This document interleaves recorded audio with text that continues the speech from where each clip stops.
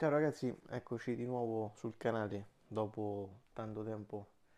Provo a portare un altro contenuto, eh, uno degli ultimi video, forse eh, per chi l'ha visto, insomma, chi l'ha seguito, è stato mm, relativo appunto per quanto riguarda gli utensili a una motosega della McCulloch per, per vedere come fare la corretta messa in moto di quel tipo di motosega a scoppio. E mm, appunto sempre per aggiornamento per chi avesse visto i video, la musica ancora ce l'ho, va benissimo. Eh, ho cambiato da poco la candela e, e anche la membrana mi ha dato qualche problemino, l'ho sempre svuotata la, il serbatoio della miscela, ma probabilmente insomma ecco, si è seccata, comunque ci sono gli anni di mezzo, l'utilizzo è tutto. Eh, catena sostituite già 4-5 catene, eh, quindi ecco insomma e adesso ho deciso di prendere questa qua. Ehm, ovviamente non è in sostituzione a quella che ho già della McCulloch a scoppio, anche perché comunque l'altra ha una discreta potenza, poi per tagli un po' più impegnativi, per quanto possa essere insomma adatta l'altra, ho deciso di prendere questa per eh, una potatura un pochino più leggera e mm, andiamo a vedere ecco, un, rapido unboxing, non mi dilungherò troppo sulle caratteristiche anche perché probabilmente se state cercando questo video già più o meno sapete di cosa ti parla e per lo più vi dirò ecco, le mie impressioni. Andiamo ad aprire subito. Ah, qui c'è il sacchetto, immagino per riporla, ma oddio, metterla qua dentro una volta usata viene fuori un pasticcio assurdo. Comunque potrebbe tornare comodo questo magari per l'attrezzo. Ci mettiamo qualche attrezzetto dentro e via. Ok. Andiamo di nuovo. Manuali. Ok, tutte le lingue del mondo. Tranne l'italiano. No, scherziamo? Non c'è, in italiano. Perfetto. Oh. Eh, poi qui che qui abbiamo il piccolo manuale Deplian eh, con tutti i dispositivi e gli utensili della Makita linea 18V e ricordiamo che questa motosega è alimentata a 18 volts. Vediamo un po' ok. Ok questo è aperto. Vabbè sicuramente avrà voluto constatare l'acquisto il ragazzo magari si è reso conto di questa leggera differenza di funzionamento. Allora la chiave per, per smontare il carter laterale e per il ten di catena giravite piatto. Ok. Catena. Anche questa aperta. Vabbè. Sembra no, catena nuova perfetta. Eccola qua catena della Oregon barra da 25 se non ricordo male. Ah, il suo imballaggio addirittura originale. Ok l'appoggiamo qua la vedremo tra poco. Copre barra proteggi barra con le scritte da entrambe le parti. Carino. E la barra. Ok perfetto questo lo andiamo a mettere da parte e vediamo un attimino meglio il corpo macchina scatolone lo togliamo allora vediamo un po' oh. facevo un po' più leggera eh? devo dire per essere solo il corpo macchina robusta eh? devo dire già il tatto eh, ci dà l'impressione di un oggetto robusto, ecco, non è proprio la plastica a cui siamo abituati rispetto ad altri utensili, ma va da sé che il prezzo comunque è, è ben differente.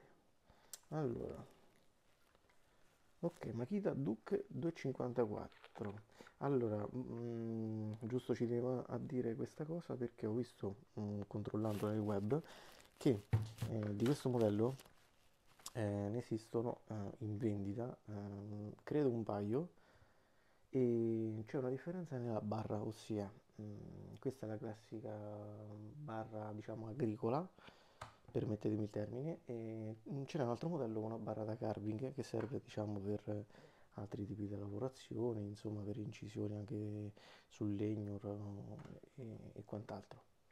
E quindi ha diciamo la punta più rastremata, più sottile.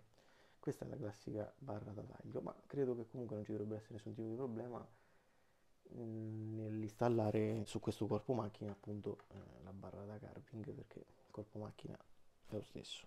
Quindi rapida occhiata, tasto di accensione, sicura e tasto di avviamento, carter laterale, alloggiamento slitta per la batteria, batteria da 18, un gancio. E qui come potete vedere c'è una vite. Agendo appunto su, su questa vite possiamo andare a regolare la quantità di olio um, che affluisce alla barra tramite gli appositi fori e quindi lubrificare di più o meno la barra. Specialmente all'inizio è consigliabile ecco, dare diciamo una maggior lubrificata vediamo adesso noi la proveremo nello specifico in questo video ma nel prossimo video andremo a vedere come è settata come è regolata al fine di poterci eh, appunto sistemare al meglio la faccenda. 103 dB per essere elettrica 103 dB non sono pochi. Poi andremo a verificare anche quell'altra se non ricordo male quella scoppio era intorno ai 98 dB di rumore ma anche lì è da verificare bene. Impugnatura. Sì devo dire comoda. Anche se io diciamo sono mancino quindi mi fa spesso comodo impugnarla in questo modo. E, e quindi capite bene che con la destra si tiene bene anche solo con una mano eh, però è sempre un modo così che non possiamo andare a rischiare quindi predilige questo utilizzo qua insomma pugnatura sinistra, mano destra sul pulsante di azione. Freno, scatto, quindi così è bloccato il funzionamento di avvio accidentale e ritorno. Un mm, bello scatto deciso. Adesso andiamo a vedere il carter. Vediamo il carter. Questo era già un pochino lento. Ah, cosa carinissima. Il bullone non cade. ha una parte interna che lo trattiene, meno male, anche perché vi immaginate insomma a doverla togliere per qualsiasi motivo mentre stiamo facendo il lavoro, cioè il bullone cade. Questo foro che abbiamo visto qua invece è per il ten di catena, ten di catena che agisce tramite questa vite, eccola qua, fa avanzare o arretrare questo perno che è quello che poi dà eh, appunto la distanza della barra e quindi di conseguenza della catena dal, dal motore e quindi sua, dal suo albero. Ho rimontato questo per quale motivo? perché tanto bene ho la bilancina e andiamo a vedere quanto pesa. Solo il corpo macchina. Ce la faremo 2 kg e 74 75 non so se si vede bene faccio vedere. 2 kg 75 ok. Ritogliamo il carter che avevamo già levato mettiamo da parte. La barra eccola qua. La catena Oricon oliatissima ok vediamo.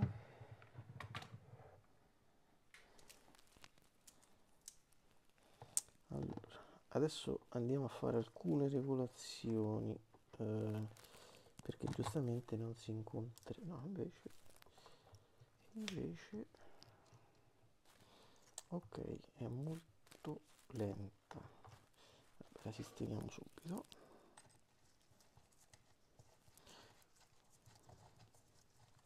ecco una cosa che sto notando subito ragazzi ok questa è una, è una micro regolazione che faccio adesso non gli darò l'attenzione che gli spetta no? però questo giravide è veramente scomodo è scomodissimo e anche la musica prende è difficile anche trovargli una posizione in cui si tenga da sé ecco forse questa è l'unica posizione che riesco a trovare in cui riesco a montare barra e catena la catena è montata correttamente. Ovviamente ragazzi controllate sempre quando montate la catena che sia rivolta nel senso corretto. Appurato che il verso è quello corretto. Che cosa faccio? Ancora non l'ho stretta. Rimetto il carter lo accosto a mano perché tanto non è, non è che serve anzi lo lasciamo un pochino più lento.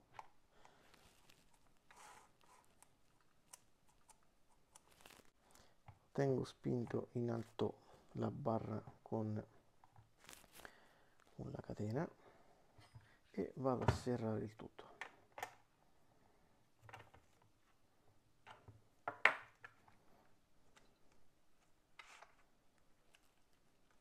non vedi qua c'è il serbatoio dell'olio. Questo è l'olio praticamente della, che va a lubrificare eh, tutto il meccanismo della catena e del movimento qui davanti. E quindi andrà riempito. Ovviamente prima dell'utilizzo ragazzi non avviatela in alcun modo eh, perché andrete a rovinare la barra andrete a rovinare la catena e a creare degli attriti che sicuramente eh, non fanno bene specialmente a un meccanismo tutto nuovo che non è stato ancora tra virgolette rodato. Ovviamente qui non è che abbiamo oh, parliamo di rodaggio a livello di accoppiamento tra barra e catena e, e sistema di lubrificazione. Non è che abbiamo da regolare la carburazione come su una motosega a scoppio però ci sono degli accorgimenti anche qui. Bene come funzionerà per avviarla? E tra l'altro il sistema mi piace molto perché una delle mie più grandi preoccupazioni era sicuramente gli avvii accidentali saranno un, un problema e invece no, perché prima di procedere all'avvio bisogna fare alcune operazioni, ossia armare il sistema tramite questo bottone. Il tasto diventerà eh, illuminato che ci, praticamente ci dirà che possiamo operare, si abbassa la sicura così e poi si agisce. Se si arma però entro 8 secondi non, non viene premuto il tasto di avvio della motosega essa stessa si spegne qualche norma di precauzione utilizzate sempre il copre barra perché comunque evita di farci male a noi e a chiunque possa entrare in qualche modo accidentalmente in contatto anche con l'oggetto fermo, non so, magari in cantina. Quindi copritela sempre perché comunque è, è vero che è spenta, ma è, i taglienti sono ben affilati, oltretutto la catena è nuova, quindi vi assicuro che eh, tagliano abbastanza bene. In un altro video andremo a esaminare eh, l'ambito batterie quindi vedremo eh, quanto può durare con le batterie, le batterie originali, batterie compatibili, quale utilizzare, quale vanno meglio. Beh ragazzi, quale utilizzare ve lo dico subito, quelle originali, per un discorso di affidabilità e per assistenza, soprattutto per la garanzia.